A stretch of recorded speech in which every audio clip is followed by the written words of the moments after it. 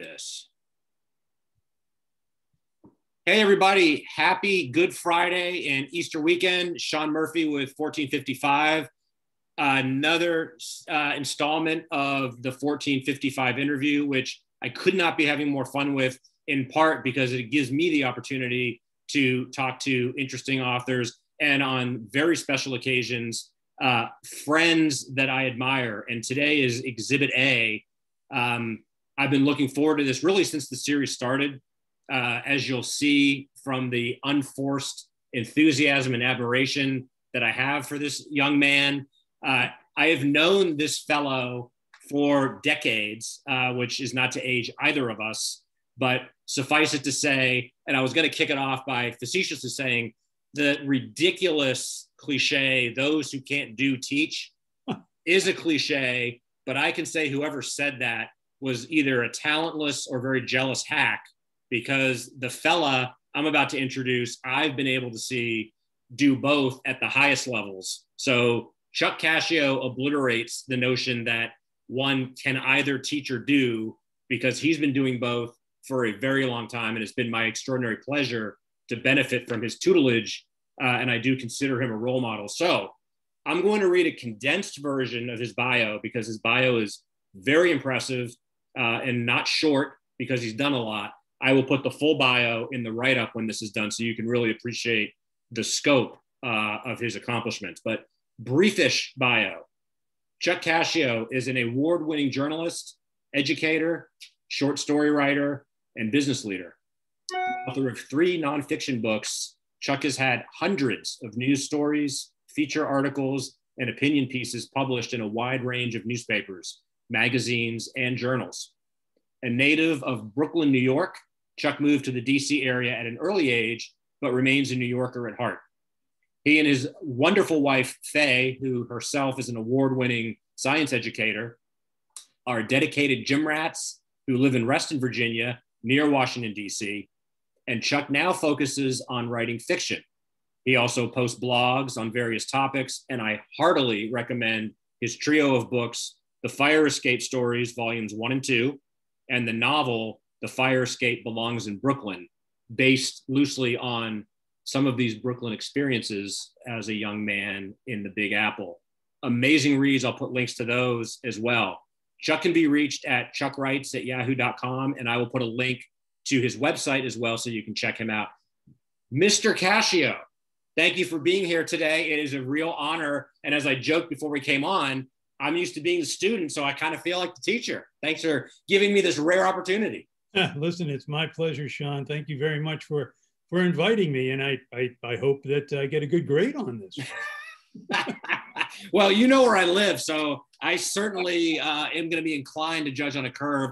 Although I suspect that that won't be necessary, and in fact, because I'll probably forget to say this at the end, I'm just going to blow your ego up at the at the start. I should have mentioned this. I had this in my notes. In all seriousness, folks, uh, I, I, genuinely credit Chuck uh, was uh, uh, the faculty advisor, basically ran the school newspaper that we did back in the 80s.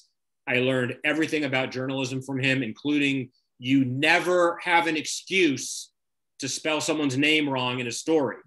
So, young youngsters out there, listen to Chuck. Uh, but as a teacher, I, I can't tell you the number of peers and then younger people I've seen come through the ranks that worship at the altar. So it really is special to have the opportunity to hear an educator who has instilled the love of language and the discipline of form into so many people answering questions about what motivates him. So, with that said, Chuck, what's the first book that made you want to be a writer or a book that changed your life at a former, formative age?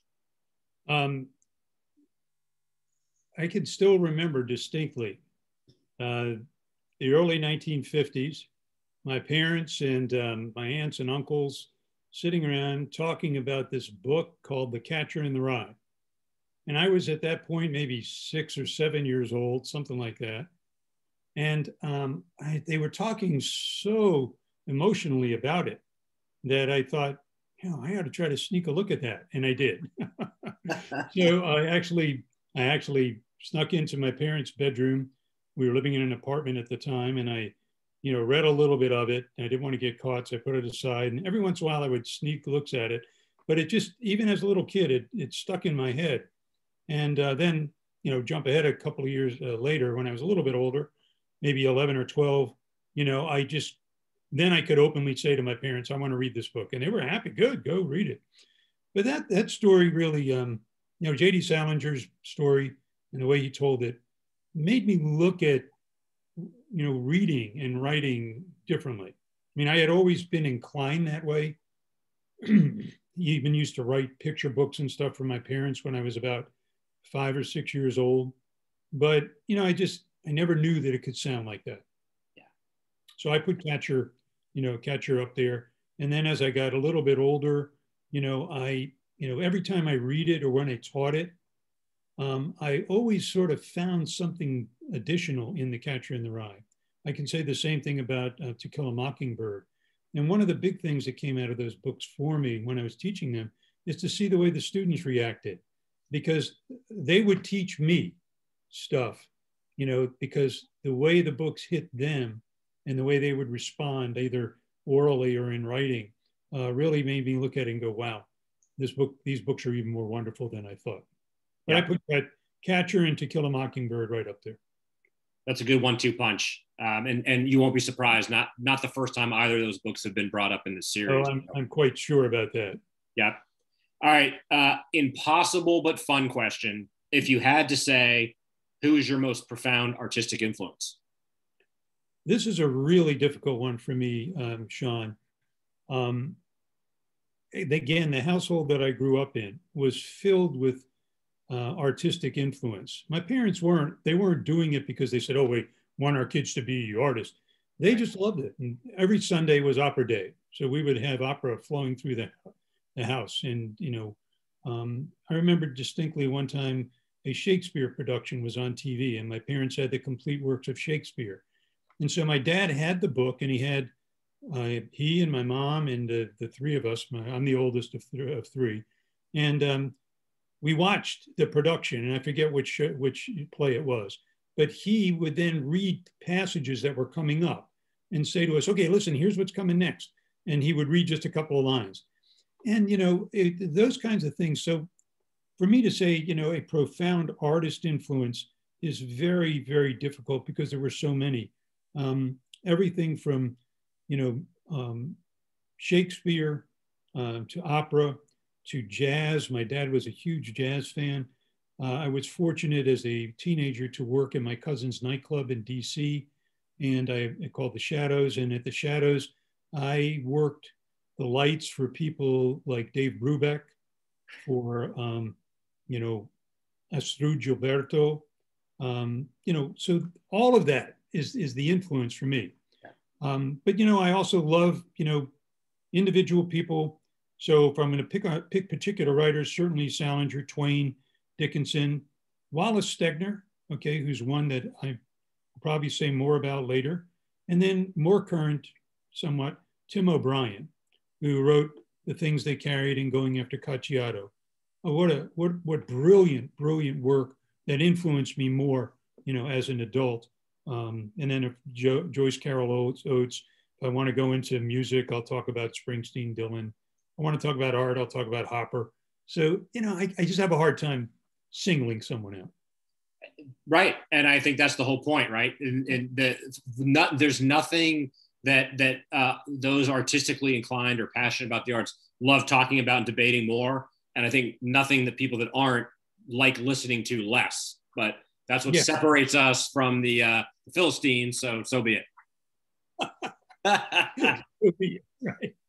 All right, so you sort of led up to the next question because I have my own I have my own prediction of what this answer might be, and I'll I'll tell you if I was right or not. But you're welcome to list either or both, but an album or movie that you recommend without reservation. I don't think that excuse me, I don't think that you'll guess this movie. Okay. Let me see if you will. Should I say it first, or do you want to tell me what your guess is? I had a guess for the album, but I didn't think about movie. We'll, we'll, we'll wait for the album then. Okay. For the movie, there's a movie that was out, oh, I think it was early two, 2002, something like that, Lost in Translation. Bill Murray and Scarlett Johansson.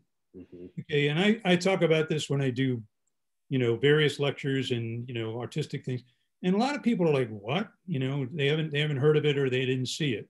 Right. But this movie is so brilliant in the way that it captures humanity and relationships and so forth. Okay. Plus, it has an ending, which I won't give away, that I think is absolutely brilliant. Um, and I think that the the way that the whole story um, pulls things together is um, wonderful. Plus, when I first heard about the movie, I was curious because the title, Lost in Translation, comes from a Robert Frost uh, quote Poetry is what is lost in translation. That was something that Frost said. I think it was Frost. Okay, could be wrong. Check me on that, Sean. Yeah, I'm a teacher. I've heard the quote, but I yeah, I, I, I wouldn't put money on that, but I, I think that that sounds right to me. All right. And so then I was really curious about the movie, and the movie just is really outstanding in that it met those expectations. Other movies, Deer Hunter, and then Saving Private Ryan for so many reasons. But there's a knife scene in it where Adam Goldberg, you know, is involved. Uh, again, I don't want to give it away. Yeah. But it's so painful to watch and so powerful and it makes you realize what goes on in those most intimate, difficult moments of war. And we go to albums. All right. So what are you going to say? Well, so in fairness, I, now I'm now I'm second guessing because I, I, I forgot about the Dylan uh, influence. I, I went right to Springsteen, and then I didn't want to outthink myself. I went back and forth between Darkness on the Edge of Town and Born to Run, if gun to head, I would say Born to Run would be the one that you would drop. And I would say you have scored an A because Born, no, you say you would drop Born to Run? I'm saying I would, I would, that's what I would pick. That's true. Okay, here, got it. Okay. You would, you've scored an A plus. Uh, Born to Run is one of them. And, um, you know, you were also right in, in Dylan. Uh, Times They Are, are Changing was, uh, I thought, just a monumental album. Born to Run, brilliant album. I believe it's, um, you can take the Dylan songs and many Springsteen songs and just separate them out as poetry. Okay, I mean, that's really, really what they are. But you know, Sean, I'm also captivated and always have been by um, lesser known um, artists and singers, writers, artists, uh, singers. Um, there's a woman by the name of Iris DeMent. Are you familiar with Iris? Sweet as the melody. There you go. Thank you. Exactly right. And there's an album called My Life. And I, I listened to that. And, you know, one of the things literature, music, art should be able to transport you, you know. And when I listen to Iris DeMent, I mean, I'm a guy from Brooklyn, but when I listen to Iris, I'm a totally different person. I'm sitting out there in the middle of Nebraska or something yeah. and just loving life because she makes it that way. Um, so, you know, those are those are a few of the, um, you know, the few of them. And I, you know, I just there's so many lesser known artists out there um, that that I just you know, I try to convince my brother uh, to someday he's a TV producer as you probably know, yeah. and I talk to him occasionally about why don't we do a why don't we do a TV documentary about all of these lesser known artists musicians that are out there you know that nobody knows about but that are playing in places like Jammin Java over here in Vienna yeah. okay and small venues that are just absolutely brilliant. So maybe it'll happen. Yeah, I look forward to that. And, and, and we also were talking before we came on about you know kind of emerging at slowly but steadily from COVID, and by gosh, being able to appreciate live art, uh, especially music, I think it just has been a a global catastrophe uh, for our souls that we haven't been able to experience that because you can't approximate it, but also these artists uh, haven't been able to make the living that they deserve to make. So something to celebrate for sure. But. I'm with you, man. Uh, local, good local art, and and uh, shining light on the less known artists. But like I said, the reason I went to Springsteen is because I, I have the benefit of knowing you yes. and know a thing or two. But but it was still a guess. So I'm glad I was uh, I, I was my my compass was uh, needle was on point. And just to show you quickly how teachers can learn, it was my students who turned me on to Springsteen back in 1974 or 75. Okay, because they knew I was a big Dylan fan and they said, you know, you really need to listen to this guy, Bruce Springsteen. I go, come on, nobody's like Bob Dylan. and then they played, um, so after school one day, they made me sit down and listen to um, Fourth of July, Asbury Park. And I was like, what? And that, that hooked me, and I've been a big, big Bruce fan ever since. If I'm not mistaken, Chuck, uh, you wrote about that on your blog. So I'll make sure to point that out in the write up after this too. You you wrote about your students turning you on to uh, early Springsteen. So yeah, I did. Yeah, right on. All right, uh, another impossible, but I think for a teacher dash writer, a fun one. There's a million options, but if you had to pick the best first or last line of any book ever, what would you go to? Well, um, for a for a um, last line, I mean, Gatsby's hard to beat, right? Yeah. Okay. So we beat on, you know, boats against the current, drawn back ceaselessly into the past. If I, I don't know if I quoted it exactly right, but there's another um, last line that I actually wanted to read because this is from Wallace Stegner in the book Angle of Repose. Mm. And just, just, I don't know if you know, but your friend Mark, my son, uh, when he was um, a kid, I always found him going to the back of a book first. He always read the last line of a book first, and then he would start reading it. Because I said, "Why do you do that?" It's because I wanted to see if the book is going to, you know, if it's going to line up and, and and logically get to where where it ends. Pretty smart. Very smart. But this is so. Here's just uh, this is a teaser because this is the last line of the Angle of Repose, one of my favorite books of all time. Here's how it ends. In this not quite quiet darkness, while the diesel breaks its heart more and more faintly on the mountain grade, I lie wondering if I am man enough to be a bigger man than my grandfather. So to me, okay, now you got to read the whole book probably to really appreciate that line. Yeah. But it's just it's just plain brilliant. Yeah, and you know I, am I'm, I'm really happy, Chuck, because I, I have read that book and I enjoyed it. It's been a while, so a I should revisit that. But b that's the first time Mr. Stegner's come up in the series, so I'm delighted that. Uh, case in point, Gatsby's come up myriad times, including that was my choice when I took the, the quiz. Um, but Stegner hasn't come up, and, and he deserves to. So thank you for that. You're welcome. I'm happy to happy to raise the awareness of Wallace Stegner to anybody that uh, is listening. Excellent. All right. How about who you consider the most underrated author, or if that's too difficult, an underrated author that you'd love to give a shout out to? Well, I'm going to stick with Mr. Stegner. Okay. Listen, I've talked about him many, many places. And um, I can't say enough about him. Now, he did gain certain accolades, you know, in his career, but he didn't reach the level, you know, of, of some. And, you know, he, he deserves to. Mm-hmm. Um, I think part of the reason that he didn't reach that level is that he writes about a section of the country that is very different from where a lot of the major publishing went on and so forth. And you know, that's not to say that, for example, the only reason Hemingway was successful was because of a New York agent and publisher by any means.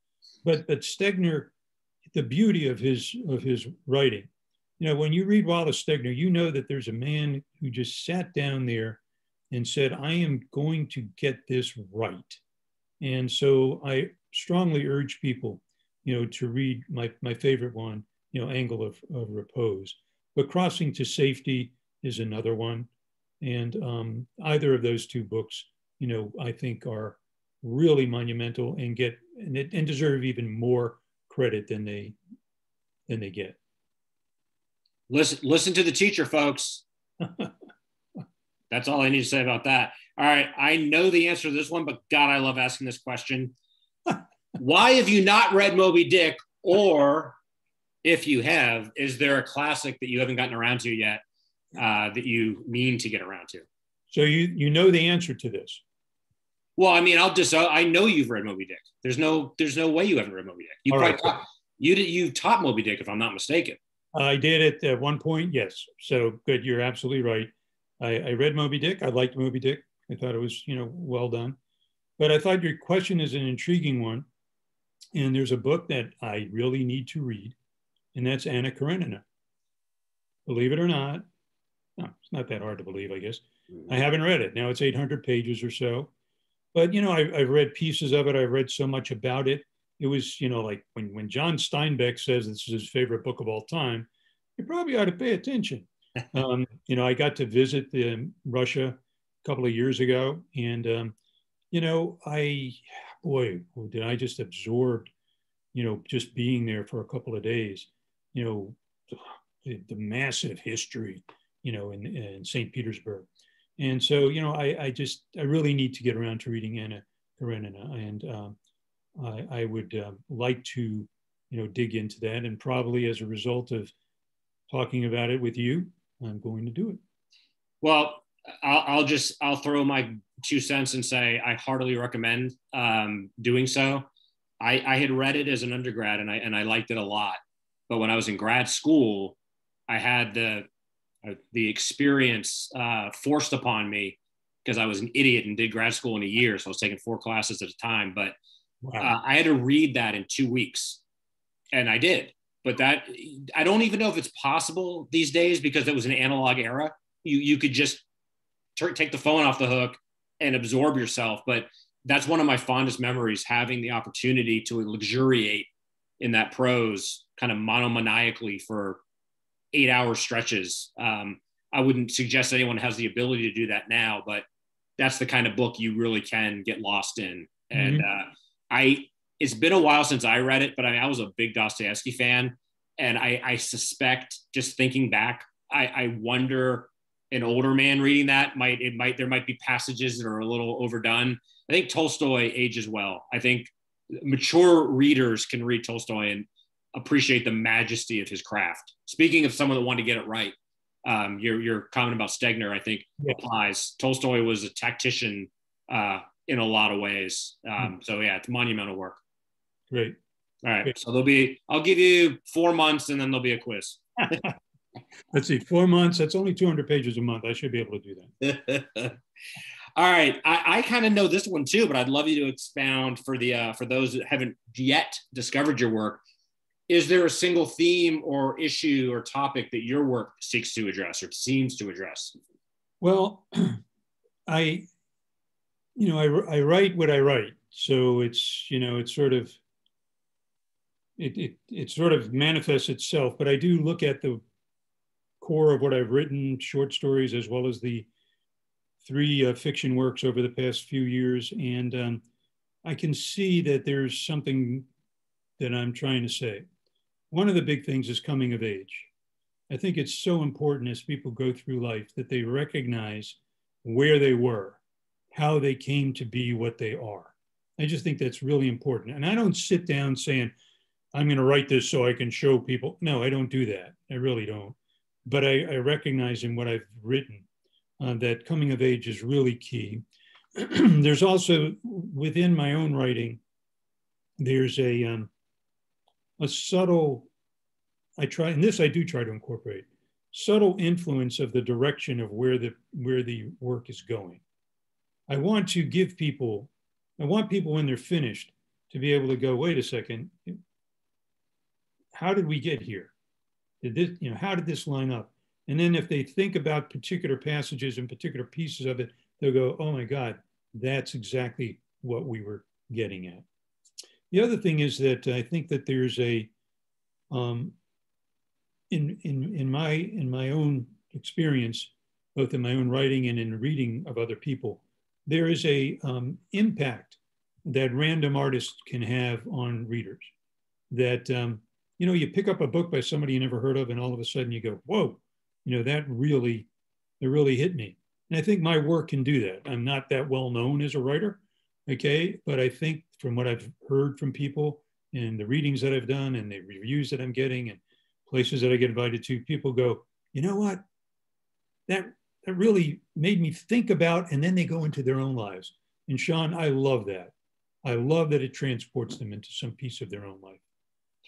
Yeah, and listen, I'll, I'll, I'll happily add, Chuck. You know, I could I could and would love to, frankly, go on for hours, but I, I definitely had the advantage of knowing you as a teacher and a man, and that informed my reading. But I didn't know about your childhood or or several of the scenarios that either loosely or directly inspired a lot of the fire escape stories. But I would say among the many things that I could and, and have said about your writing in those uh, pieces, you bring a. It's very evident that you bring a lifetime of teaching and observing to the table, and that is the the writing is infused with that kind of generous wisdom of it's just very obvious that you've experienced a lot, but you've listened and absorbed a lot of stories, both in your family and throughout decades of being around people and being a good listener. So well, thank you. And I've, I've, I have discovered exactly what you've said about my own life that way. And I want to add one more thing. Um, I've never been a big fan of the tie it up neat ending. Okay. I mean, and, and everything's got to come together in some way. Mm-hmm. But sometimes I think in highly commercial writing, it goes a little too far, you know, that way. So a lot of the re- re- reading that I've mentioned, a lot of the reading that I've mentioned here in this conversation is stuff that is not necessarily tied together neatly, although when you read it and think about it, you say, okay, I understand how the author got to that point. Thank you for that. Okay.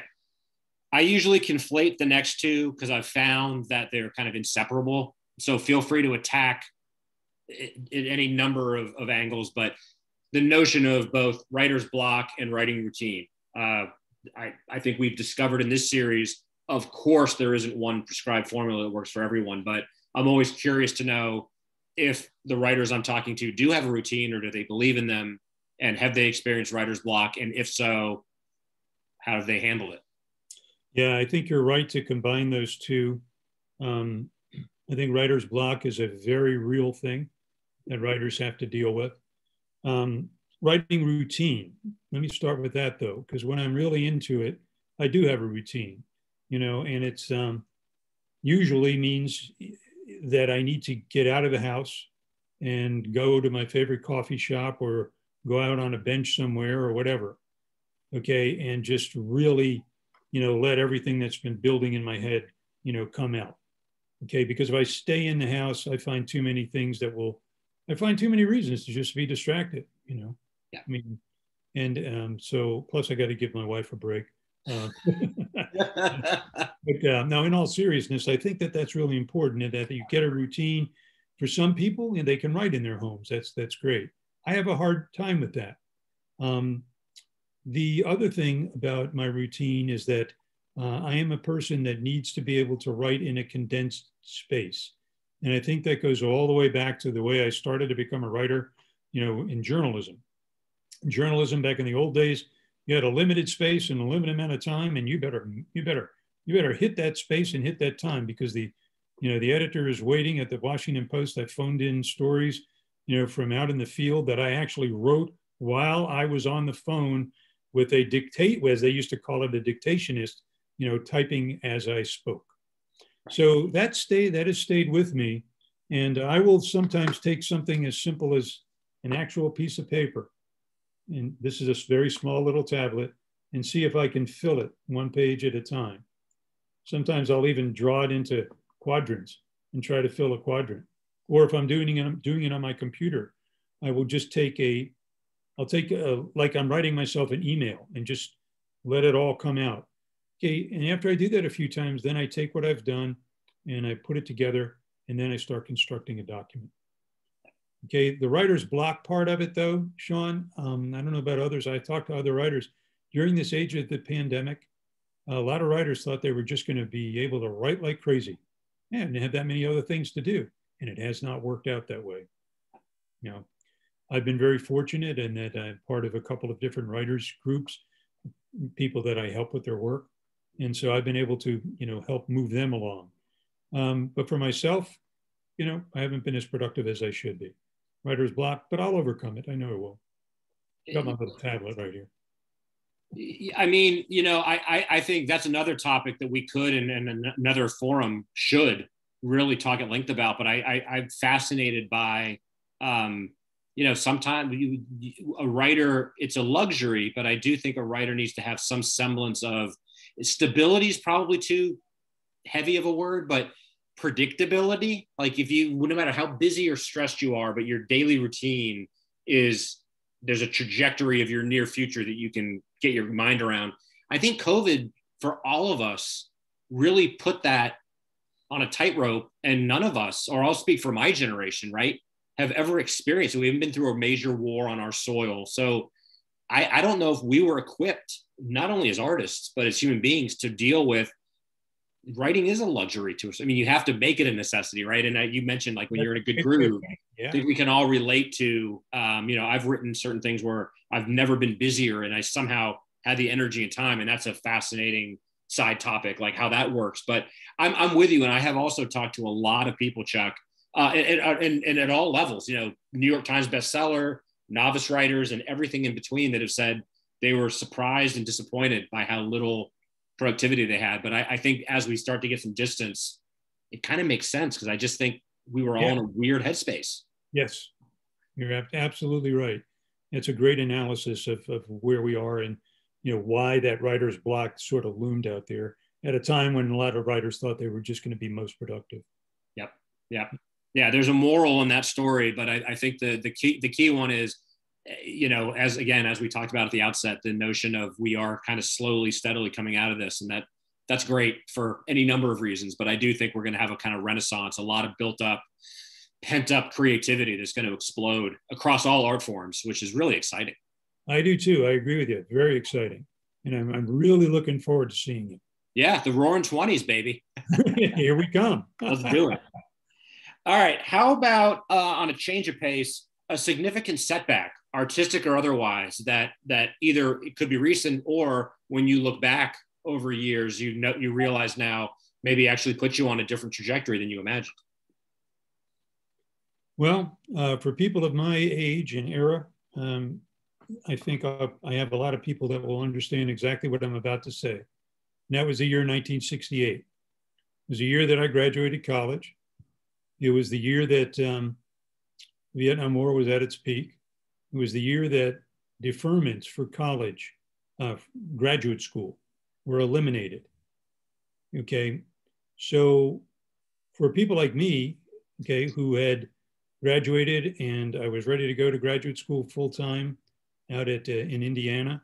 Um, I had gotten a role there as a teaching assistant in their uh, graduate program for communications and public affairs, mm. and it was all it was all taken away. Okay. So, you know, without going into a lot about the war, because, excuse me, I am, I am really not a person who was like a anti-war. I was a pro soldier, the guys who fought for us. Yeah. I didn't wind up being one of those soldiers because I wound up going into teaching. And they gave me a deferment for teaching, not at the graduate level, but at the elementary school level, which still to this day doesn't really make any sense. Okay. So that was a setback in this way, Sean. I had certain things that I was planning on achieving that included writing, it included marketing, it included working in, with my cousin in the music industry that I was unable to do. On the other hand, out of that quote unquote setback, I became a teacher.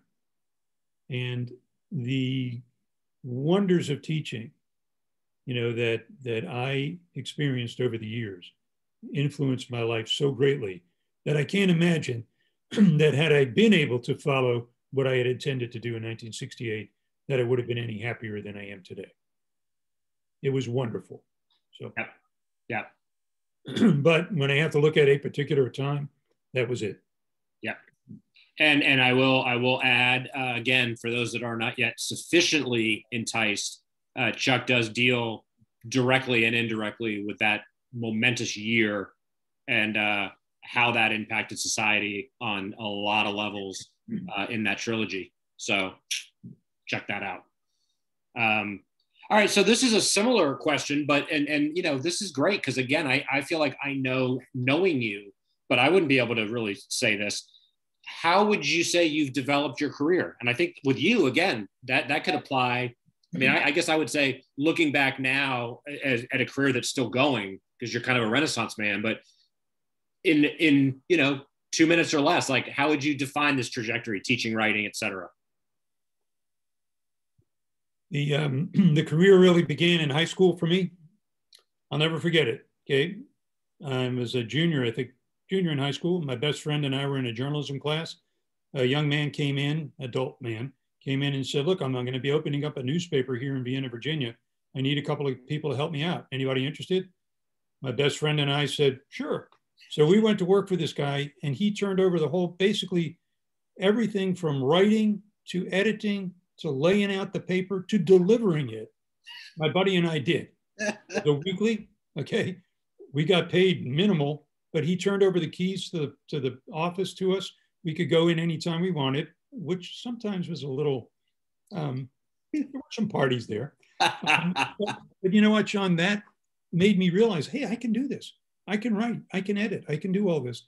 And from there, you know, it led to um, something that I did throughout college, and then, you know, after 1968 and graduating and so forth, and going on for my master's at American U and teaching there, you know, I started writing as a freelancer for the Washington Post and so forth and so on. So that's how the career developed. But it really started, really started at the ground level in high school. Yeah, it was, it was great. Yeah, and listen, I mean, I'll I'll indulge briefly, but but I think uh, necessarily to point out that uh, for you younger folks, you just really have no idea. Like when I was on this uh, paper staff with Chuck, I would say that it was more similar in 1988 to how it was in 1888 than it is between then and now, no just question. because of computers. We literally cut and pasted, and people are like, "What does that mean?" You know, click yeah. and no, no, we had razors. We cut and pasted, but boy, the lessons. Uh, you know, I don't look at that as there's a lot of nostalgia and lessons learned, but what that taught about the craft and respecting the space, um, having a hands-on experience was was absolutely critical before I think anyone even knew they wanted to write because it just teaches you the rules. Yes, great point. Yeah, it teaches you the rules, and I was fortunate to learn them. But you know, in this very early experience, you know, from the ground level, man, and working and actually getting paid for it, you know. But I, we learned everything. We learned everything from running the addressograph machine. There's something that people can look up. so laying out the paper and writing the stories yeah. And um, even when I was doing a lot of freelancing at the Post, you know, I met a lot of wonderful people there, made friends with a lot of great reporters that were there full time. But some of them were envious of me as a freelancer because they were like, Chuck, you can pitch to any part of the paper you want. Your, your name appears everywhere. You know, you're in style, you're in the sports, you're in here. And, you know, it was, it, I was just really fortunate that way. And, you know, there were other publications as well, but the, those years of, you know, of um, being a freelancer where the various editors at the Post, I could go to them and sit in their office or call them up on the phone and pitch a story. Was wonderful. And listen, I, I I'd be remiss to not just jump on that again for for maybe the younger folks, especially that are watching this, uh, being versatile uh, and and being opportunistic as the as the industry consolidates, being able to write uh, professionally from any number of, of different angles and directions is is an absolutely critical part of, of getting your name out there. So Chuck, that's kind of to me is like a full circle of, you know, obviously the industry has changed a lot, but I think that's something that's as important now as it was in your time, being able to kind of have being nimble enough to and be curious enough to be able. I, I think some people aren't equipped to bounce around from discipline to discipline. Um, so something to emulate, I think. Well, thank you. Yeah, I, I strongly urge people to try it. Yeah. yeah. All right. Uh, Chuck, define or explain what literary success, literary success means to you.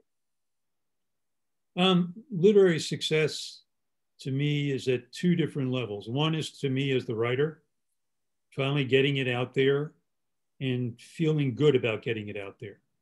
Okay. You know, the tendency is for writers to just keep writing. Nobody wants to release a lot of times, they don't. You know, and I remember a, I took a trip down to Key West and visited Ernest Hemingway's home down there uh, because I, I, I, was writing a story about his best friend and the exec, executor of his estate, mm-hmm. uh, Toby Bruce. So Toby met me at the airport, took me to the Hemingway house, and took me on a personal tour of it. And he showed me where Hemingway wrote The Old Man and the Sea, table by table by table. And, and, and, and he told me, he said, you know what? If it wasn't for his agent, whose name I'm forgetting now, do you remember? the famous one, right? Yeah, yeah.